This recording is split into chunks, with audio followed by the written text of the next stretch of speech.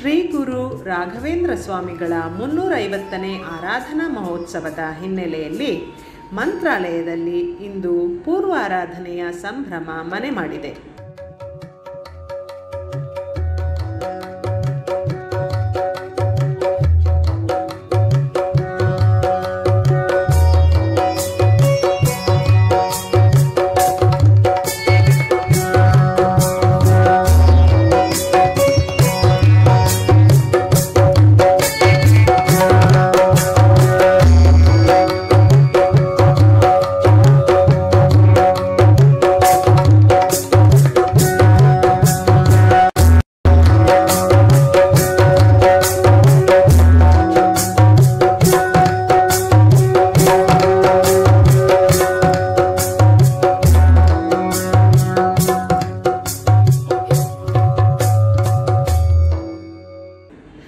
ಪೂರ್ವಾರಾಧನೆಯ ಹಿನ್ನೆಲೆಯಲ್ಲಿ ವಿಶೇಷ ಧಾರ್ಮಿಕ, ಸಾಂಸ್ಕೃತಿಕ ಕಾರ್ಯಕ್ರಮಗಳು ನಡೆಯುತ್ತಿವೆ.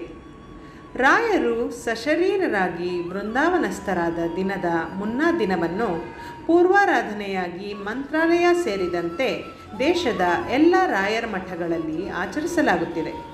ಬೆಳಿಗ್ಗೆಯಿಂದಲೇ ಮಠದಲ್ಲಿ ಪೂಜಾ ಕೈಂಕರ್ಯಗಳು ನಡೆಯುತ್ತಿದ್ದು, ನಿರ್ಮಾಲ್ಯ ವಿಸರ್ಜನೆ ಉತ್ಸವರಾಯರ ಪಾದಪೂಜೆ, ಪಂಚಾಮೃತಾಭಿಷೇಕ, ರಜತ ಸಿಂಹ ವಾಹನೋತ್ಸವ ನಡೆಯುತ್ತಿವೆ. ರಾಜ್ಯದ ವಿವಿಧೆಡೆಯಿಂದ ಭಕ್ತರು ಮಂತ್ರಾಲಯಕ್ಕೆ ಆಗಮಿಸಿದ್ದಾರೆ. ಮಠದಲ್ಲಿ ಏಳು ದಿನಗಳ ಕಾಲ ಸಪ್ತರಾತ್ರೋತ್ಸವ ನಡೆಯುತ್ತಿದೆ.